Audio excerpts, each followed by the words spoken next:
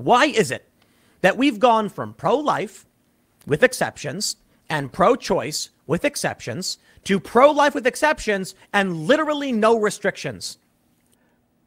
Well, because it makes sense. I've had many. This is another fallacy. You think you, the people who think like somewhere in the middle uh, must be the right answer. No, sometimes the right answer is completely on one side.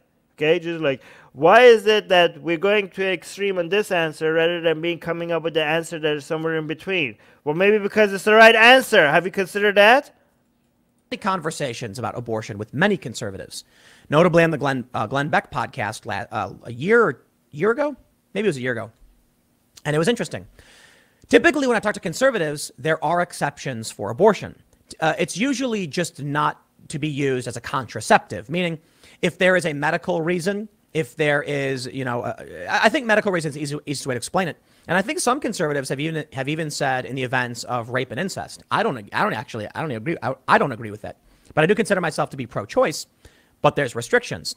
What is it? Safe, legal, and rare. At a certain point, I don't think you you, you can do it with exceptions. So so let me let me clarify my position. If there is an instance where in the third trimester, serious health consequences to the life of the baby or the mother, then I think that's up to the doctor.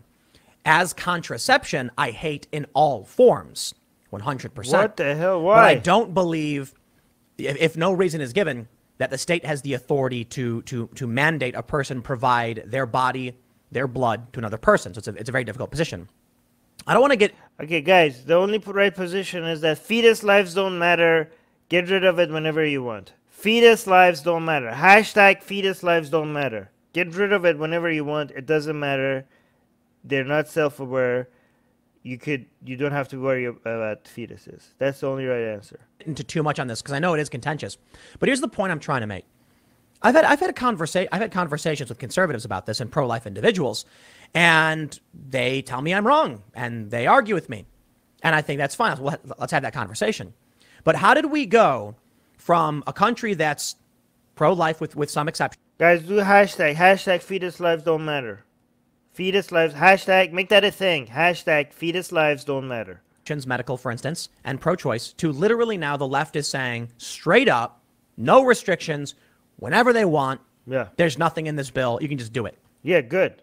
Great. Fetus lives don't matter. Do do whatever, whenever you want. That to me is crazy. And You're crazy.